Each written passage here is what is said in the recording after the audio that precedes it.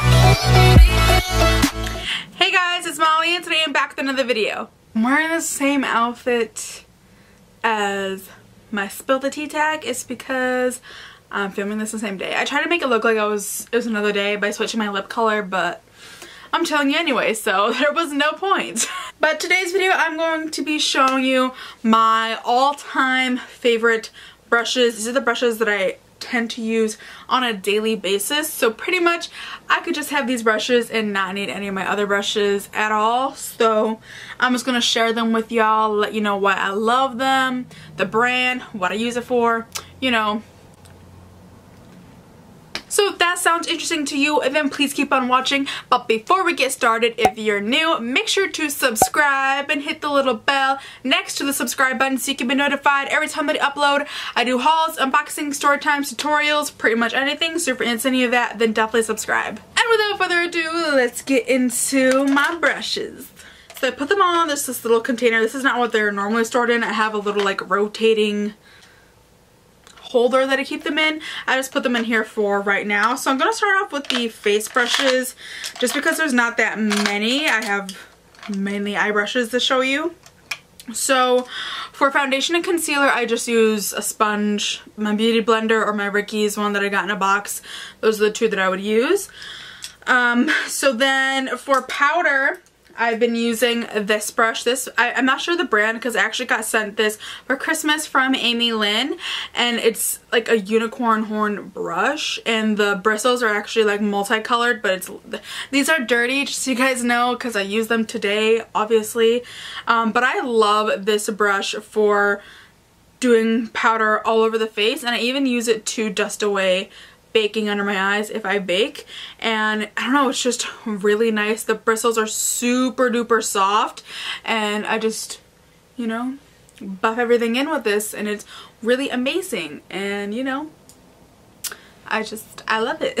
So next I would do bronzer. And I like to use this brush. Um I got it in a set for Christmas, so if you guys haven't seen my what I got for Christmas video, I'll try to link up with the cards if I remember, but I showed it in that video, and it's just like a Walmart brush set, I think, but this brush is ginormous, like, it's literally huge, and, I mean, okay, my contour is a little, like, iffy on this side because I put way too much on, but I like to use this with bronzer and, like, you know, I bronze my face and my neck with it and I really like it. It's really nice, really big and I really like it for my bronzer that's in my project pan because all of the product is like on the edges now since I took like all the middle. So I just like shove this in there and it's it's really floppy too.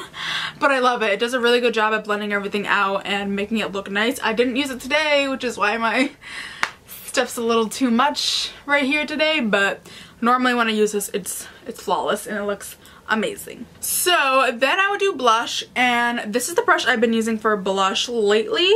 Um, it's the same brush that's um, came in the set as that last one and it's just like an angled brush and I don't know it's really soft and I've just been using it to do blush lately. Um, I don't know. I usually switch my blush brushes. Sometimes I want a denser brush. Sometimes I want one that's not as dense, a little more fluffy. Sometimes I do angled. So I'm just using angled brushes right now and this is the one that I happen to be using and I really like it because I like to like I don't know I just really like how it applies blush. Um, oh, I should mention this. So if like my contour or my bronzer is like a little too harsh, I like to use this brush. It's also part of that set. It's just like a flat, very large, like flat brush and I like to use it to like buff it out as much as possible. I even like to use this for if my blush is too harsh, I'll blend the blush out and I don't know, it's really nice. I know people use this for like foundation, but the bristles really aren't um, that dense, so I don't know if it would do that good of a job with foundation, but I do really like it to like blend my bronzer my blush out. Okay, so for highlight, I love this brush. It is the Morphe M510 and I freaking love this for highlight. It like, it's just like the perfect size for my face and it just applies highlight amazing. It's a little dirty right now, but I totally recommend this blush for highlight. It's it's amazing. The bristles are super soft and I don't know, it is totally, I just really recommend this brush. It's amazing for highlight. Once you use this, you ain't never going back to whatever brush you were using before. Alright, and if I get fallout under my eyes from doing eyeshadow, this is the fan brush I like to use to dust it away. It is the Sephora 92 um, Pro Featherweight featherweight fan brush.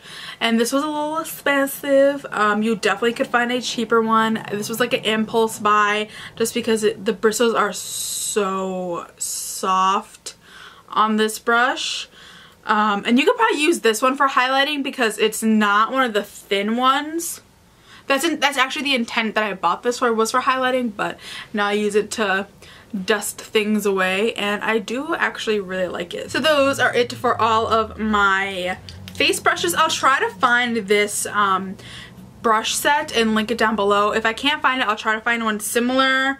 Um, and then I'll just try to link all, all the brushes that I'm mentioning in the description box to the best of my ability. Moving on to eye brushes, we've got We've got quite a few. So the first one, actually I guess I should go in order of how I do my eye makeup like I did my face. so once my eyelids are primed, I like to set them um, with like a cream shade and this is the brush that I would use. It's the I, don't know. It's by Coastal Scents. It came in a brush set. I know the brush set, so I'll link the brush set down below. Um, totally recommend it, by the way, for beginners or if like you're pretty much a pro and you just need more brushes because I use this brush set like all the time. It's amazing. But it's just this like really large like C brush and it's amazing. It gets like all of my eyelid and I don't know. I just love it. I love using this to set my primers so it's it's really good. Um, I have a few crease brushes. So um, I guess I'll show you them. So the first one is this Furless ME3 brush. I actually used it today, so um, she's uh, she's a little dirty. Um, and I actually sat on this and broke it. I don't know if you guys can tell. So I have to be very careful with this. I need to get like some tape or like glue or something. But that doesn't stop me from using it. I love it so much. And it's, it's like pinched. I don't know if you guys Okay, yeah, that, that, yeah, this, yeah, you guys can see that, right? It's, it's like wide, but then it's like pinched. I don't know, but I love like this brush. Why am I dark? Come on. Bring, bring my light back. There we go. I like to use this to like directly in the crease. Um, I don't know, it's really good. And the brushes are really soft. I actually got this in an Ipsy and I actually kind of want to try more brushes by this brand because it's really this brush is really nice and I love how long the um what is this called three hours later handle I love how long the handle is so yeah really like that Another one is super affordable. It is the Wet n Wild crease brush. I love this brush for like if I just want to sweep like a color in my crease really fast because it's more of a larger crease brush and I don't know I just really really enjoyed this. Um, for you can most of the time you can find these brushes at the dollar store and pick up a few of them and you can use this for like blending not just for crease. You could probably even use this brush for highlight. I don't know. It's it's a really good brush. Very soft bristles great if you just want to throw something in the crease or if you're actually going to do like an intricate look it's really amazing the last crease brush cre crease crease brush crease brush is the Sigma Tapered Blending the E35. I love this brush. I got this in a limited edition BoxyCharm and I I love it so much. I'm obsessed with this brush. It's so nice in the crease. Sometimes I even use it for like my outer corner to like darken it up. Um, but I, I love this brush. I think it's so amazing. I love that it's rose gold like the Farrell's Rose Gold. It's just amazing and I really love Sigma brushes so if you have never tried Sigma brushes you need to stop waiting and try them. They're amazing. Alright so this is my favorite favorite favorite shader brush to put like um like shimmers on the lid or whatever. Um, it is the Sigma. It's actually their concealer brush, their F70 but I use this all the time for um what is it called? For like shimmer shadows and I actually got this in one of their mystery boxes so I don't know. It's just really nice. The bristles are soft. It's like the perfect density for like shimmers and no matter what shimmer shadow I use I feel like this brush does an amazing job applying it. Um, I, I use this literally every day. Every day. I have another like Coastal Scents one that I use, but I, I would pick this one over it just because I really love this one. So if you're looking for a flat shader brush, I recommend using this concealer brush. So to darken up the outer V of some looks, I love using this Coastal Scents brush that also came in a set. And I don't know how to explain it. It's like a small, like, conceal, not concealer, crease brush. I don't know. It's domed and it's really nice to just get that outer V perfectly. It's amazing and it holds on to color really good. So make sure you tap it off because if you go in with like a really pigmented shade and you don't tap it off, you might mess up your whole look. So, I don't know. I just really like, I actually have this same brush by Coastal Scents, but it's, instead of black bristles, it's like brown. And I, I just really like it. And it's amazing. So for blending, I've got two brushes because if I'm going to blend the entire look together, I like to use the Morphe M504 brush which is amaze balls it's definitely a lot bigger than this other brush i'm going to show you and i love it for literally just i only use this if i'm blending like all the shades together because this is just really good for it. Bristles are so soft and i just like how larger it is because it obviously gets more space done faster and it's amazing and I've been trying to find this brush forever and then Amy told me, Amy actually had it and then she told me what it was and I was like, Thank you so much, girl. So now I have that. The other one is this Sigma E40 tapered blending. It has longer bristles, but it's definitely not as fluffy as this Morphe one. And I like it to blend the edges and just soften the edges of looks out a little more. Um, that's actually what I did today with this brush and I really do like this. I actually own two of these because I love it so much. I'm telling you guys, Sigma's got some real good, real good brushes. To smudge some color underneath my lash line, I've really been using this Coastal Scents brush.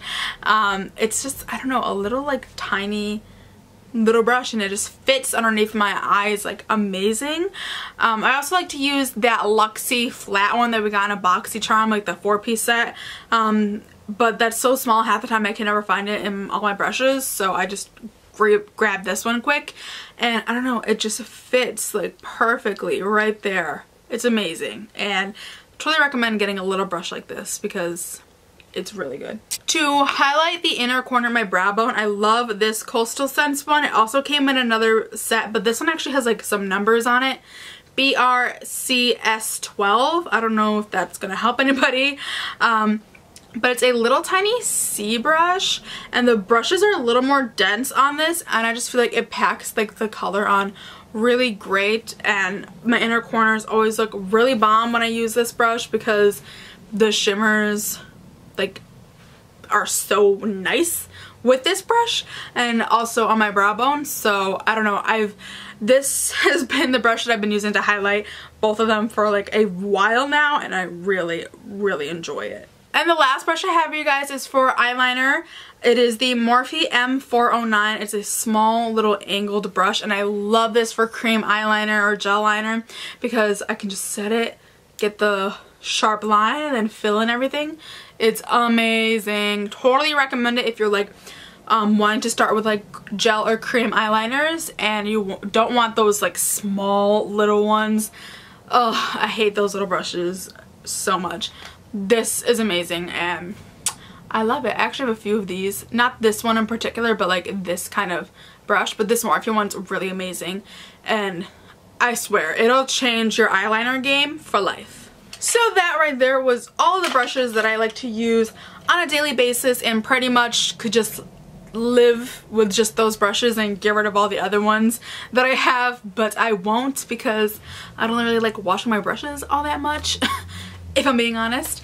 Um, but like I said, I will try to link all the brushes down below. If I can't find the exact brush, I'll try to find a similar version for you guys to the best of my ability. I'm going to try really hard for you all. So let me know if you use any of those brushes that I mentioned and if you love them as well or if there's any brushes that I mentioned that you've never seen before and you would like to try also let me know because I'm nosy and I want to know.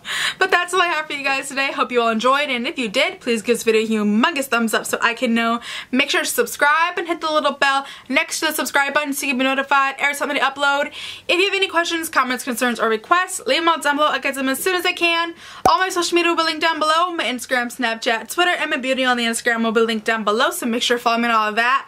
Once again, hope you guys enjoyed. I love my Molly Mollykins, and I'll see you guys next time. Bye, guys!